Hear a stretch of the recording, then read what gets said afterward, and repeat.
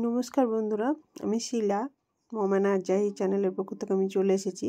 তো আজ কালী পুজোর আগের দিন আমি তোমাদের সাথে শেয়ার করব আমি কীভাবে প্রদীপগুলো মানে গেল বছরের প্রদীপগুলো কীভাবে কালার করছি আর তার মধ্যে কীভাবে মোম ভরে মোমবাতি বানাচ্ছি। মা বেটি করছি দেখো।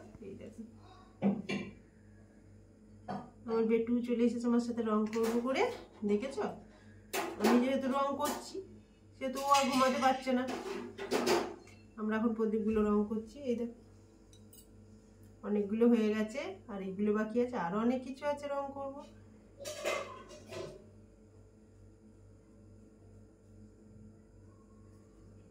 ঠাকুর ঘরে বসে বসে রং শুরু করে দিয়েছি আমরা। এই জন্য তোমরা আশেপাশে বালতি এসব কিছু দেখতে পাচ্ছ। সেটা দিয়ে সবগুলো রং করছি। হ্যাঁ। দেখেছ দেখেছ হ্যাঁ?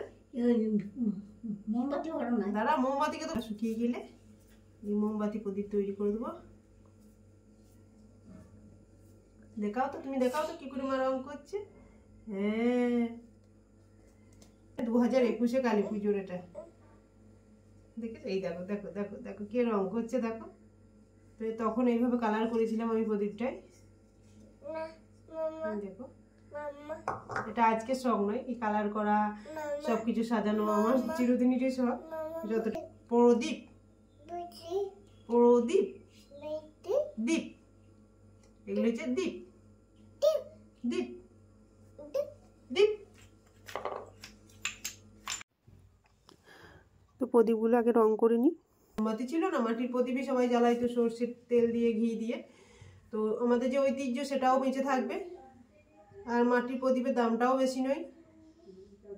তোমরা অনেক অনেক মাটির প্রদীপ নিয়ে এসো। তার মধ্যে সর্ষের তেল, মোম অ্যাড করে জ্বালাও। মনের অন্ধকার, বাড়ির অন্ধকার সব কিছু দূর করো, কালী পুজো।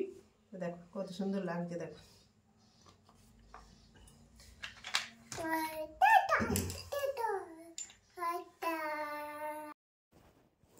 আমি যে প্রদীপগুলো কালার করছি বা রঙ করছি, সে প্রদীপগুলো গেল বছর বা তারও আগে বছরকার তো সেগুলোকেই আমি কালার করছি যাতে আরও সুন্দর দেখতে লাগে। আর তার মধ্যেই আমি যে মোম কিনেছি, সেই মোমগুলোকে আমি ভরতে পারি এই যে প্রদীপটা দেখছ, এটা তো দু হাজার একুশে আমি দিল্লিতে কিনেছিলাম।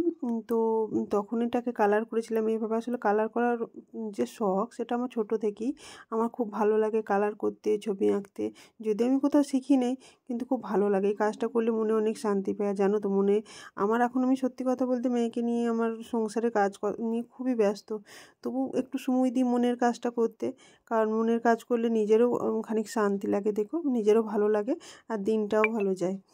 তো সব প্রদীপগুলো আমি এক এক করে কালার করে নিচ্ছি। এর মধ্যে মোম নিয়ে নিয়েছি আর এর মধ্যে জল গরম হচ্ছে। তো জলটা ফুটতে শুরু করে দিয়েছে। তো ডবল ম্যাথড পদ্ধতিতে আমি মোমটা গলিয়ে নেব জলের মধ্যে দিয়ে।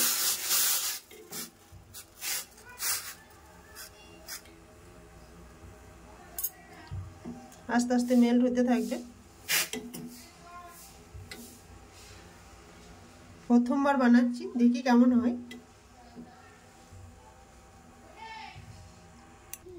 তো মোমটা গলে গেছে মেল্ট হয়ে গেছে। এবার প্রদীপগুলোর মধ্যে ঢেলে দেবো। যেহেতু প্রথমবার করছি সেই জন্য একটু ভয়ে ভয়েই আছি। তো প্রথমবার করছি এই জন্য প্রথমবার আমি একটু অল্প মোম নিয়ে সেটাকে গলিয়ে নিয়ে দুটো কাপের মধ্যে ঢেলে দিয়েছি কিন্তু সে দুটো বেশ ভালোই হয়েছে এবার পরের কাজগুলো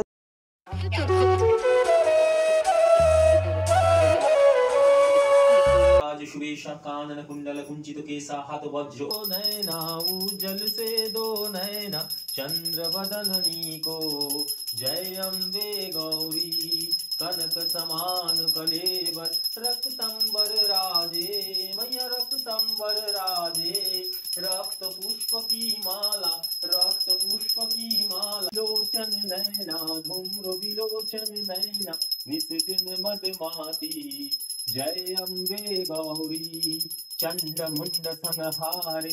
सोनित बीजहारे मैया सोनित बीजहारे। आगमनी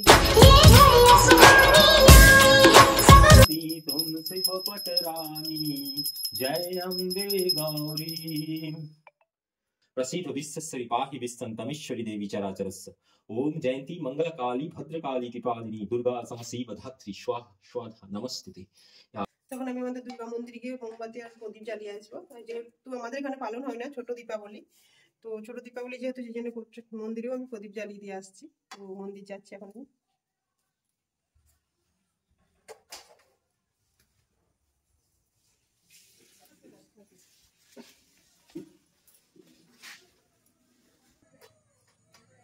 তখন আমাদের মা দুর্গার মন্দিরে যাচ্ছে, আমাদের বাড়ির সামনেই মানে আমাদেরই ঘরের ঠাকুর, বাপের বাড়িতে। তো ওখানে এসে মায়ের মন্দিরে মোমবাতি আর প্রদীপ জ্বালিয়ে দিচ্ছি। আর মায়ের কাছে এটাই প্রার্থনা করছি, মা, সবাইকে ভালো রাখো, সুস্থ রাখো। আর এই আলোর উৎসবে সবারই মনের অন্ধকার দূর করে দাও, মা। সমস্ত বিপদ থেকে সবাইকে রক্ষা করো।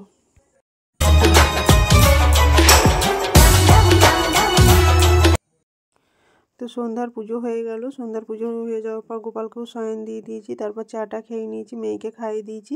তারপর আবার মোম মেল্ট করে নিয়ে আমি আবার প্রদীপগুলো, যে প্রদীপগুলো কালার করেছি তার মধ্যে মোমগুলোকে ঢেলে দিচ্ছি এবং সেটাকে সেট হওয়ার জন্য এক ঘণ্টার মতো রেখে দেবো। এক ঘণ্টার মতো রেখে দিলেই সেট হয়ে যাবে। তো যে ছোট প্রদীপ ছিল সেগুলো আরও যে আমার কাছে গ্লাস বা এই চিনেমাটির যে পাত্রগুলো ছিল সবের মধ্যে আমি মোম আস্তে আস্তে ভরে ফিল করে দিচ্ছি। তো তারপর দেখো এগুলো জমে গেছে। কিছু অল্প অল্প করে মোম আমি মেল্ট করছি আর ভরতে থাকছে। দেখছ কত সুন্দর দেখতে লাগছে। একদিকে আমি মোম মেল্ট করে প্রদীপের মধ্যে ভরছি এই দেখো এতগুলো মোম, প্রদীপ আমার তৈরিও হয়ে গেছে। আর একদিকে আমি কালার করছি, সব কাজই একসঙ্গে চলছে। রাতে রান্নাটাও আছে, তো এগুলো করে নেওয়ার পর রাতে রান্নাটা করব তারপর বাকি কাজগুলো করব আমি।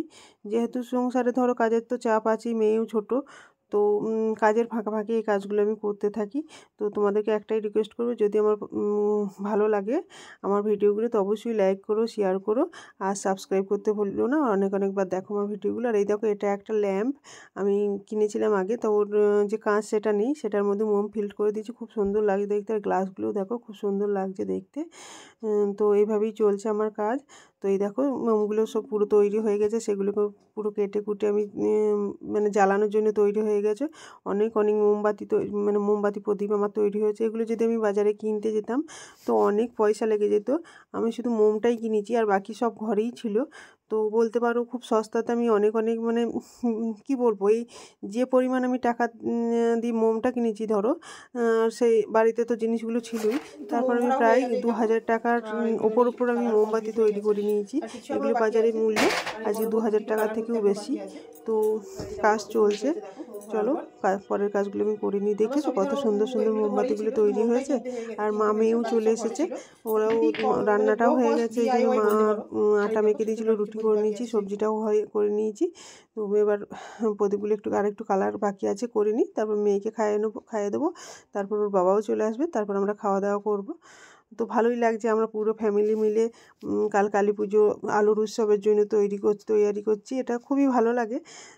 তো চলো দেখতে থাকো কালকের ভিডিওটাও দেখবে কীভাবে আমি দীপাবলি বা কালী পুজো সেলিব্রেশন করছি। তো দেখেছি আমার মেয়ে কত খুশি? সব কিছু দিয়ে হাততালি দেয় খুশি একটু খুশি হলেও সব কিছু বুঝতে শিখে গেছে। তো দেখো পরের ভিডিওগুলো খুবই ভালো লাগবে তোমাদের। তো আর একটুই বাকি আছে। দেখো এই প্রদীপটা। তো আমি এই প্রদীপটা এইভাবে কালার করছি। এই প্রদীপটা আমার খুব পছন্দের প্রদীপ। আমি এগুলোকে ফেলে নিয়ে দিল্লি থেকে আমি বয়ে নিয়ে এসেছি। আমার হাজব্যান্ড আমাকে খুব মানে কি বলব, একটু গালাগালিও দিয়েছিল যে তোমার কাজ নেই, এগুলোকে তুমি ভরে নিয়ে যাবে। কিন্তু কি বলব, আমার সত্যি যে মনের কথা বললাম না যে যে জিনিসগুলো মনের কাছের জিনিস, সেগুলোকে ফেলতে বা সেগুলোকে রেখে দিতে খুব ইয়ে লাগে। তো আমি এগুলোকে নিয়েই এসেছিলাম। তো অনেকটাই রাত হয়ে গেছে খাওয়া দাওয়া হয়ে গেছে, আর কিছু পরিমাণ কাজ বাকি আছে। তো চলো আজ আমি ভিডিওটা এখানেই শেষ করছি। যদি তোমাদের ভালো লাগে অবশ্যই লাইক করো শেয়ার করো সাবস্ক্রাইব করতে ভুলবে না। Bye good night